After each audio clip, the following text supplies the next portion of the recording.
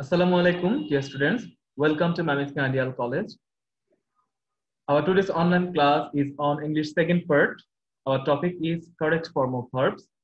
I'm with you. I'm teacher Zaman Noor. শিক্ষার্থীরা আজকে আমরা ইংরেজি দ্বিতীয় পত্রের কারেক্ট ফর্ম অফ ভার্বস টপিকটির উপর একটি এক্সাম্পল নিয়ে আমরা আলোচনা করব এই টপিকটি রুল নিয়ে গত ক্লাসে তোমাদের সাথে আলোচনা করা হয়েছে আজকে আমরা একটি বোর্ড কোশ্চেন এর স্যাম্পল নিয়ে তোমাদের সাথে আলোচনা করব। কীভাবে রাইট ফর্ম ভার্বের প্রশ্নটি পরীক্ষায় থাকে এবং সেটি আমরা কীভাবে সলভ করব, এই বিষয়টি তোমাদের সাথে আজকে আলোচনা করা হবে। সলভ করার সময় আমি অবশ্যই প্রত্যেকটি শূন্যস্থানের ব্যাখ্যা তোমাদের জন্য বুঝিয়ে বলব। তোমরা সেই ব্যাখ্যাগুলো মনোযোগ দিয়ে শুনবে এবং ব্যাখ্যাগুলো খাতায় লিখে নিবে। যে যত বেশি ভালোভাবে ব্যাখ্যাগুলো খাতায় লিখে নিতে পারবে, সে তত বেশি ভালোভাবে সেটা বুঝতে পারবে এবং ওই ধরনের অন্য যে কোনো শূন্যস্থান সে খুব সহজেই সলভ করতে পারবে তো কথা না বাড়িয়ে আমরা আমাদের একদম এক্সাম্পলে চলে যাই Here we go. Read the text and fill in the gaps with the correct form of verbs as per subject and content.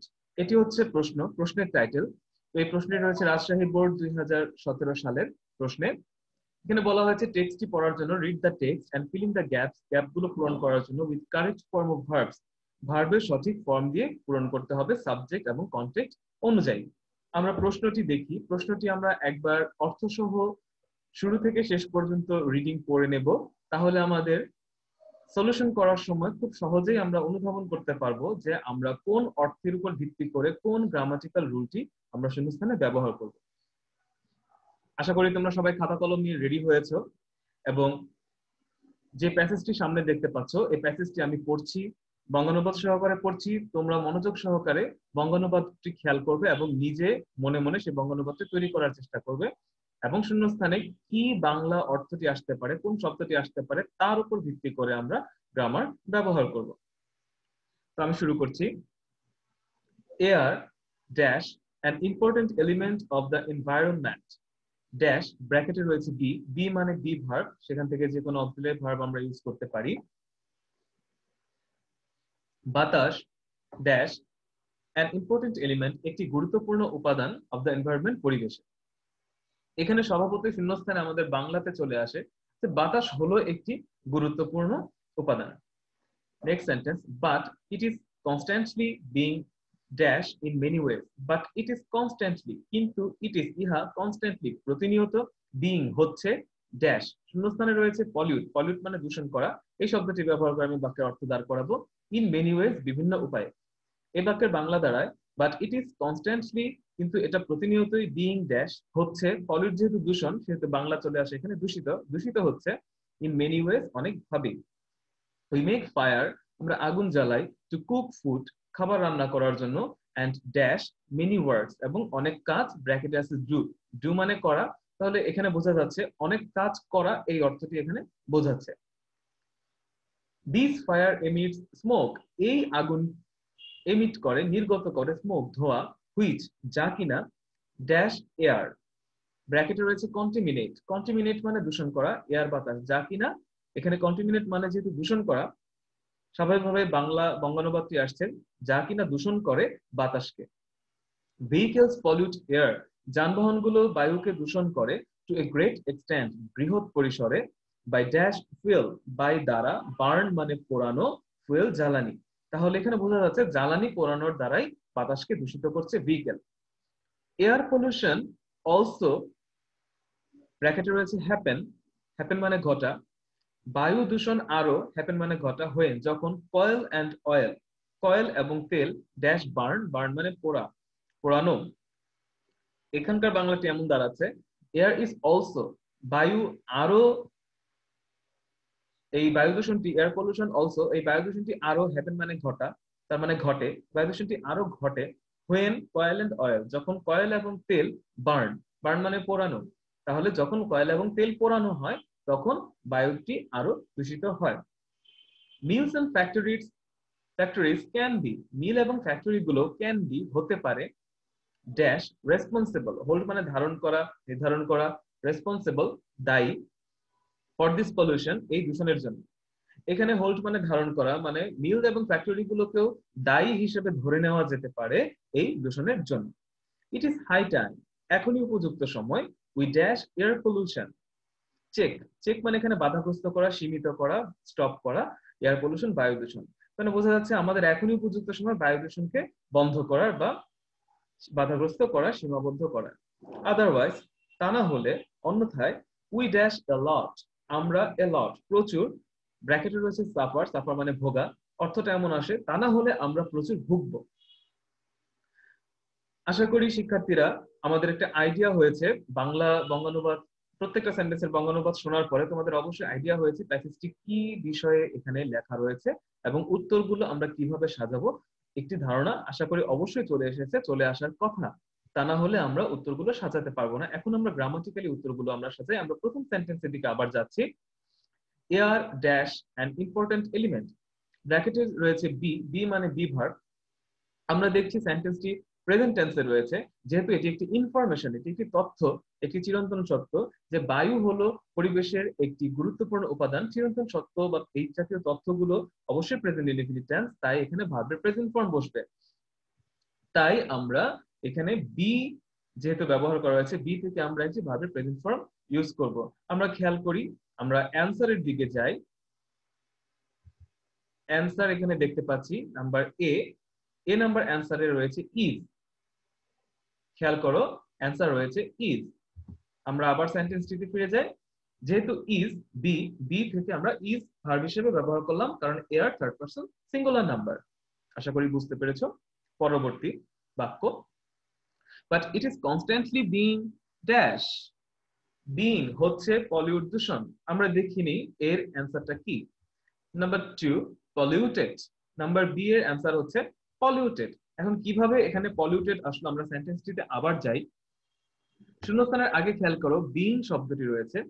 Being be being এই দুইটি ওয়ার্ড সাধারণত প্যাসিভ সেন্টেন্সে ব্যবহৃত হয়। প্যাসিভ ভয়েসে ব্যবহৃত হয় আর বি বিং এর পর মূল ভার্বের অবশ্যই পাস্ট পার্টিসিপল ফর্ম ইউজ হবে। তাই polluted past participle form use হয়েছে। Polluted it is constantly being polluted এইটি প্রতিনিয়তই দূষিত হচ্ছে ইন মেনি ওয়েজ বিভিন্ন উপায়ে। We make fire to cook food আমরা আগুন জ্বালাই রান্না করার জন্য অ্যান্ড ড্যাশ মেনি ওয়ার্কস এবং অনেক কাজ করার জন্য নাম্বার সি এর উত্তরটা আমরা দেখিনি। সি এর উত্তর কি? সি এর উত্তর হচ্ছে ডু কীভাবে এখানে ডু হলো?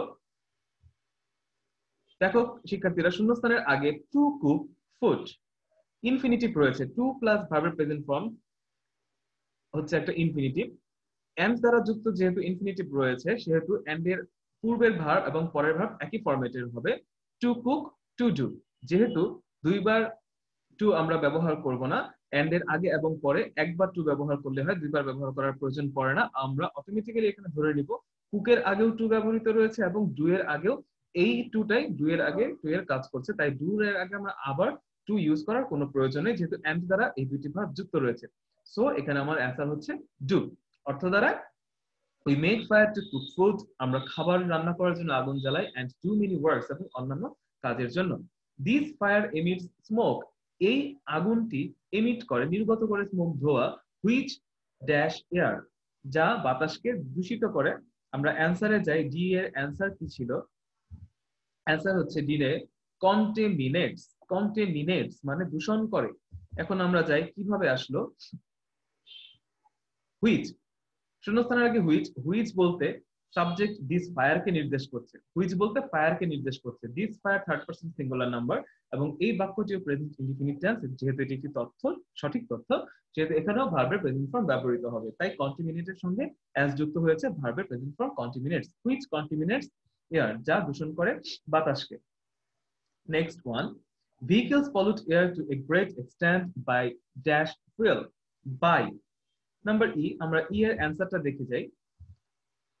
বার্নিং ই এর অ্যান্সার হচ্ছে বার্নিং। কীভাবে এখানে বার্নিং হচ্ছে? শূন্যস্থানের পূর্বে বাই ব্যবহার করা রয়েছে। মনে রাখবে শিক্ষার্থীরা বাই এর পরে যদি কোনো ভার্ব ব্যবহার করা থাকে, সেই ওই ভার্বটার সাথে আইনজি আমরা যোগ করব। তাহলে বাইয়ের পরে খুব ইজিলি আমরা বার্নের সাথে আইনজি যুক্ত করে অ্যান্সারটা তৈরি করে ফেললাম বার্নিং বাই বার্নিং ফুয়েল জ্বালানি পোড়ানোর দ্বারা। Air pollution also happen when coal and oil dash number F F এর রয়েছে শূন্যস্থানে হ্যাপেন মানে ঘটা। বায়ু দূষণ আরও ঘটে। আমরা উত্তরের দিকে যাই।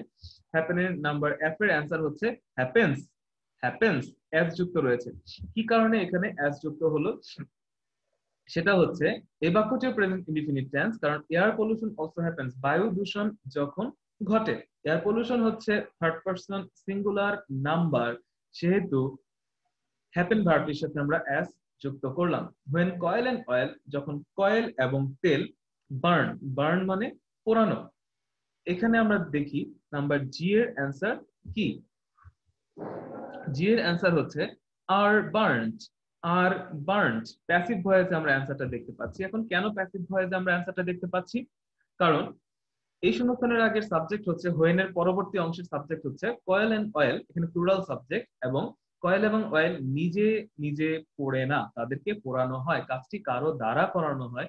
যখন একটি কাজ কারও দ্বারা করা হবে, তখনই সেই বাক্যটিকে প্যাসিভ ভয়েস বলা হবে। আর যেহেতু এটি প্রেজেন্ট ইন্ডিফিনিট টেন্সের প্যাসিভ ভয়েস সেহেতু আমরা অক্সিলারি ভার্ব আর ইউজ করব এবং ভার্বের পাস্ট পার্টিসিপল ইউজ করব। তাই আর বার্নড কারণ প্যাসিভ ভয়েসে অবশ্যই টেন্স অনুযায়ী অক্সিলারি ভার্ব ব্যবহৃত হবে এবং অবশ্যই অবশ্যই মূল ভার্বটি ফার্স্ট পার্টিসিপল ফর্মে হবে, বাক্যটি যেই টেন্সেই হোক না কেন।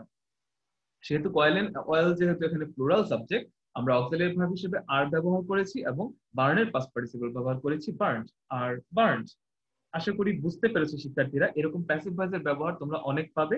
একটু খেয়াল করে প্যাসিভ ভয়েসটা বুঝে প্যাসিভ ভয়েসের অ্যান্সার করবে। Mills and factories can be mill এবং ফ্যাক্টরি গুলো হতে পারে। আমি নাম্বার বি তে খেয়াল করো শিক্ষার্থীরা নাম্বার বি এর শূন্যস্থানে বলেছিলাম। বি এবং বিং এর পর ভার্বের পাস্ট পার্টিসিপল ইউজ হয়? সেই রুতে এখানে ব্যবহৃত হয়েছে, যেহেতু বি রয়েছে, আমরা অনায়াসে হোল্ডের পাস্ট পার্টিসিপল ফর্ম হেলথ ব্যবহার করব। ক্যান বি হেলথ তারপর আমরা অ্যান্সারে দেখে আসি এইচ এর অ্যান্সারে কি আছে? হেলথ শিক্ষার্থীরা, আমরা হেলথ দেখতে পাচ্ছি, কারণ এখানে বি এর ব্যবহার রয়েছে, তাই আমরা হোল্ড থেকে হেলথ ব্যবহার করলাম। Held responsible for this pollution এই দূষণের জন্য তাকে রেসপন্সিবল করা হতে পারে মিল এবং ফ্যাক্টরি গুলোকে। ইট ইজ হাই টাইম এখনই উপযুক্ত সময়। আমরা দেখে আসি it is high time we dash air pollution number I এর শূন্যস্থানে রয়েছে চেক চেক থেকে আমরা অ্যান্সার কি তৈরি করেছিলাম? আই এর অ্যান্সার হচ্ছে চেকড চেকড কীভাবে চেকড আসলো? ইট ইজ হাই টাইম এই ফ্রেজটি যে সেন্টেন্সে ব্যবহার করা হবে ইট ইজ হাই টাইম বা it is time it is time অথবা ইট ইজ হাই টাইম এই ফ্রেজগুলোর অর্থ হচ্ছে এখনই উপযুক্ত সময় যে সেন্টেন্সে ব্যবহার করা হবে, ওই সেন্টেন্সটি অবশ্যই পাস্ট ইনডিফিনিট টেন্সে হবে, তাই ভার্বের পাস্ট ফর্ম ব্যবহৃত হবে। যেহেতু এবাকে ইট ইজ হাই টাইম কথাটি ব্যবহার করা রয়েছে, সেহেতু আমি চেক ভার্বের পাস্ট ফর্ম ব্যবহার করব, তাই উত্তর হবে checked it is high time we check air pollution এখনই উপযুক্ত সময় আমাদের বায়ু দূষণ করা।